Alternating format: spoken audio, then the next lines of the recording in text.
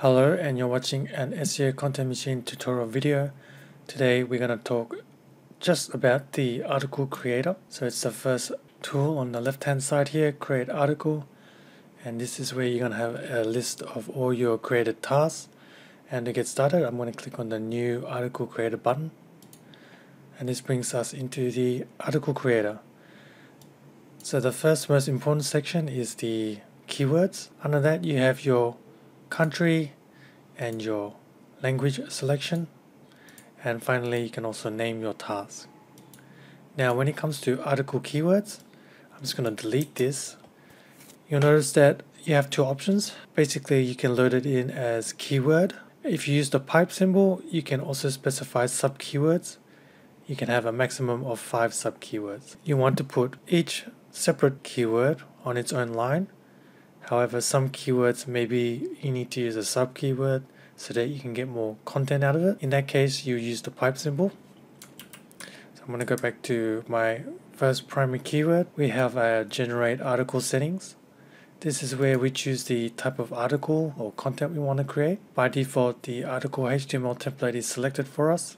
However, you'll see that there are other ones such as for GSA SER, Ranker X, ZennoPoster, etc. If you need to create your own templates, you can click on this edit template link here and this will give you the opportunity of editing or creating new templates for yourself. Now underneath template selection is your article generation setting. So the first option you have here is the number of search results you want to scrape for each keyword. You can have up to 300 URLs. The more URLs that you choose, the longer the task is going to take. So your trade-off is how many URLs you want to download and how much content you need to create the number of articles that you're looking for. So as you can see, as I change this slider, you notice that this box at the bottom here, it's starting to change. So let's say we keep our search results to 10. We want our article to be 5 to 10 paragraphs. And we only want one paragraph variation. So SEO Content Machine Next is estimating that we're able to create around four articles. Each article is using 25% of all available possible content. And that's if you use the create unique setting. As I increase the number of search results, I'm going to have more content to use. So the estimated number of articles increases. Now, if I jacked up the paragraph count all the way to 99 and kept the search results all the way down to 10, you notice it says not enough content. So we're only downloading 10 pages worth of content. However, we're trying to create an article with 99 paragraphs. And we're probably not going to have enough content to get all 99 paragraphs. Therefore, we're getting this warning here. The task will still run, but most likely when you open your article, you're going to get less than 99 paragraphs in there. So let's roll down the paragraph count to a more reasonable setting. Now for article output type, you can choose whether you want the Spintax code to be in the article or you can choose to export it without any Spintax code. A lot of the settings and features that you use in Article Creator, it's going to write out with your Spintax in that. If you don't need it, and I know sometimes if you want to import data into another program that doesn't support Spintax, you want to click on and select this option here. I'm going to leave it on by default. Now if you have existing articles on your hard drive and all you want to do is insert media and I mean specifically content inserts then this is where you would toggle that on and you would select the folder with all your articles on your hard drive. When you do this your article generation will be disabled so it's only going to insert content into existing articles and will not try to create new articles at all. You have the ability to use Article Forge for additional content. There is an article translator and of course you have your article rewriters. By default, if you don't have access to any paid spinners, and this is a list here, your soft spin is a free spinner provided to you. Going down, we have our task settings. So our save location file, our generated articles is going to be your project folder. You can change this to whatever you like. However, these are your default settings. Moving on to the next section, you have your content inserts. So the left hand side here is a list of all the possible inserts that you are allowed to place into your article. So you have a very big list here. I'm not going to go over each one. However, what I will say is on the right hand side you have a help. So for most of all the inserts, if you click on this link here, it's going to take you to a video which goes into more depth as to what each of these inserts do. For just a quick example, I'm going to click on insert images and then I'm going to move on. So this is your custom content tab. If you want to insert your own custom content, then you would click on this button here and it gives you the ability to insert content into just the article body or you can choose to insert it anywhere in your article or if you want to create a footer or a header, you might want to select these two options here. Now your content you load in is through a file which you can edit by clicking on this button and of course you feel free to insert and use text or whatever you like. You can also customize the source of the titles used by the article generator.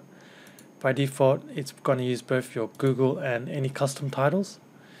If you want to have very specific and relevant titles, you can click on Edit Custom Titles to generate titles. So I'm going to click on that just to give you a look at what it's the UI is for it. So here's custom titles. And yes, it does ship with a generator. So we can generate our own titles and use that. We can customize our categories too, and this is used mostly for those of us that want to later take our articles and post them online using the WordPress upload post tool. If you have existing content on your hard drive and you wish to use that content in addition to whatever SEO content machine finds online, this is the import local content section and this is where you can select folders on your hard drive that you want to import content to. Any content that you load through this section here will actually get translated and spun and filtered. Moving on to the next section, we have the URL content filter.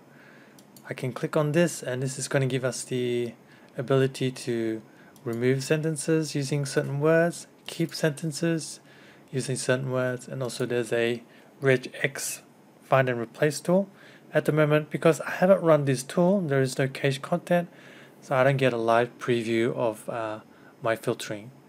Once again uh, we have these URL filter and just like when I discussed with the content inserts the help section on the right hand side you can click on these links to get further information on how to use these tools. Finally another important area is inserting links. We have video tutorials on the right hand side I'm going to click on add link here to add a link. We can choose how many links we want, the URLs and keywords. The next important thing is choosing what type of link we want to insert. So by default, it's just going to insert a link and it's going to insert it randomly anywhere in your article. If you want it to be in context, you might want to select the replace existing words. You can also insert links using images and that's this final option at the bottom. Now it's important also that we add some generic link text variations.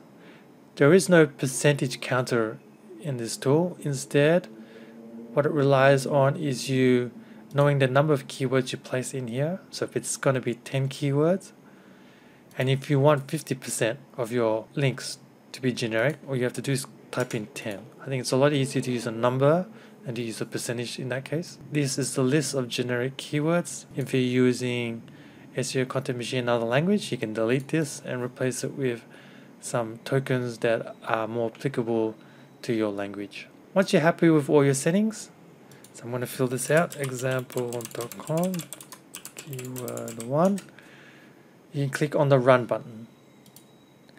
When your task has been saved, it appears in this list here. Now the status of your task is shown in this box. If you click on a task, it's going to open the task log window. So this window shows you step by step what the task is doing.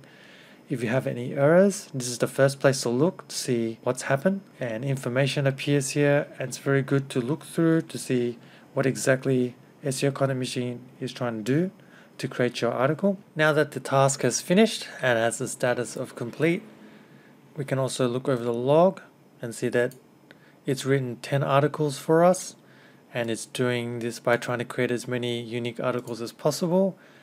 The paragraph usage shows you that 155 paragraphs worth of content was found and in each article it's using about 14 paragraphs and it's going through and using each paragraph only once in an article that way you don't get any duplication and it's wrapping around the 10th article